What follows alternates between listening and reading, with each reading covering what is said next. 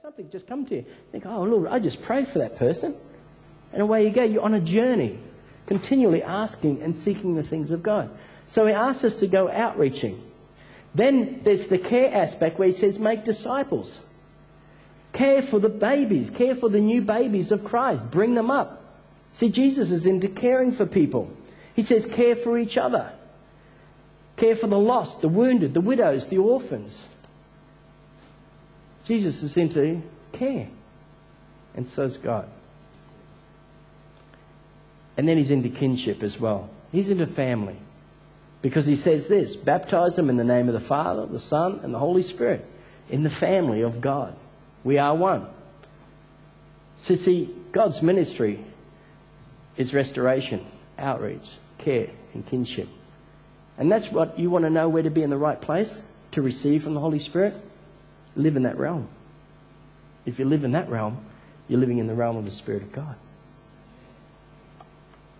He says to love one another, to forgive one another, to go the extra mile, to share things with each other. I wonder if we shared any equipment with each other lately. Anyone need a mower? I've got a mower you can use. I've, too many times we worry about giving it to someone because it comes back worse. Who's had that happen? Lots of people. All right? And sometimes they say, I don't want to do that again. You know, I'll lend the car and the clutch comes back burned out or something, you know. But at the end of the day, we have to share, and that's life. That's what we should be doing with each other. But you know, there's so much pride out there too. There's so much pride that people don't want help, especially Christians. I find so much pride in Christians. Oh, look, we got food parcels here for you. You've got no food. You really need help. Oh, I'll be right, thanks. This is your food parcel. This is your food bank here. No, that's okay. Can we help pay a bill? No, no, God will get me through.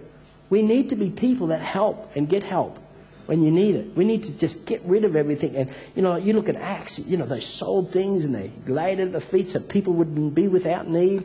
That's the New Testament church. That's this section that we're into. Thank God we belong to a church like that. We must get around those who want to receive what you want to receive. Find someone who's in the like mind, who's hungry for the things of God, or have a hunger or a desire for an outreach thing that you like to do and a missions thing, that you can get around them and really go for it and press in. It's so important.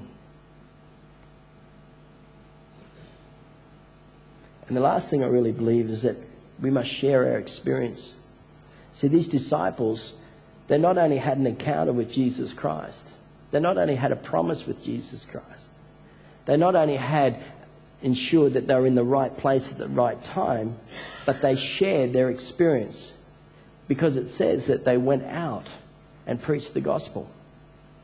Now, you need to understand that in Acts chapter 7, there was a thing called involuntary evangelism that happened because they were getting so uh, at peace in themselves and they were getting slack as a church that God allowed persecution to come through the church for the stoning of Stephen, and it says they scattered everywhere.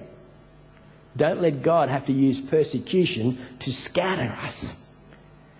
We need to just get out there and be able to be those sort of people for God.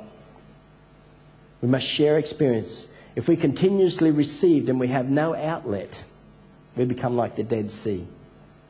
God wants putting stuff in. He's pouring stuff into you all the time. You're reading the Word, you're pouring it in. I mean, how many times this week have you even shared with someone, do you know what? This week I read this. That was pretty good. And it doesn't matter if you heard it a thousand times or you know every theological answer on it. You go, that's awesome. That is good because it's a great word. And it's absolutely a fantastic word for those people who've, who've read it. We need to encourage each other and be there for each other and continue to do the things of God. We need to build faith in others. We need to build faith in yourself. We need to share times that the Holy Spirit encounters that you've had. You know, this week I've just been sitting home and the Spirit of God just flooding over me. I really didn't want to leave. I was looking at my watch and didn't want to come. And oh, it was so awesome. Those sort of things encourages others. Well, I could probably do that. I, I'd love that.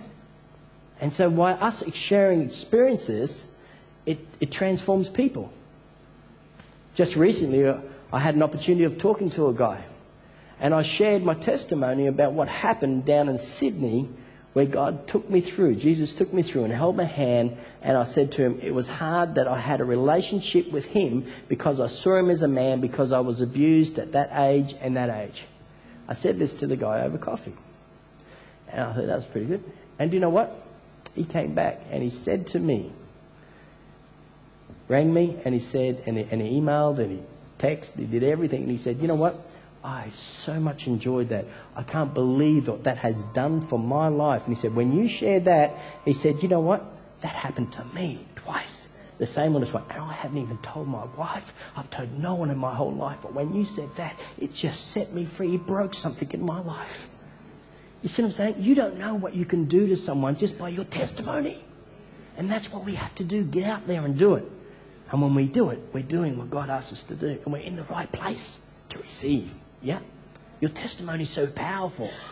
It's so, don't ever knock your, per, your testimony. Oh, I wasn't in jail and I wasn't this. Who cares about that? What have you experienced in life?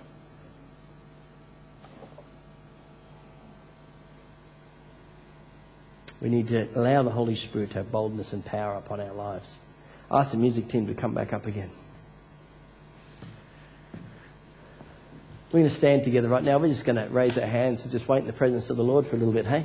We're in the right place. Are we not? Do you want to receive this morning? Let's just receive afresh from Him. We're right here. The Holy Spirit's in this place. He's living in your heart. He wants to flow through. You know, if you want to be prayed for, have your hands laid upon you to receive the baptism of the Holy Spirit, just as Paul did to those disciples, we will do that. You may have already been prayed for to receive. Well, now this is your time to say, God, I'm just going to go for it and trust you. Lord, I'm going to say whatever comes in my mind because I know that's how you speak to me. And I'm going to say something, Lord, and I'm going to let you activate that because it's like when you start moving, Spirit of God jumps on things, you know what I mean? And away it goes. And you might just raise your hands this morning and just thank Him, Lord. I just thank you so much for my life, for my family, for my wife, for my kids, for my job, for everything you've given to me. Let's just worship Him a little bit. We're in that place right now. Let's lift our hands and let's just worship Him. Let's just do something different. And I'm just going to let you just sing a song, and we're not even going to sing. We're just going to worship Him. We're going to listen to you guys, but we're just going to worship Him. Lord, oh, see, Mama. Maybe you just need to speak in tongues quietly or loud, whatever you want to do. You just do.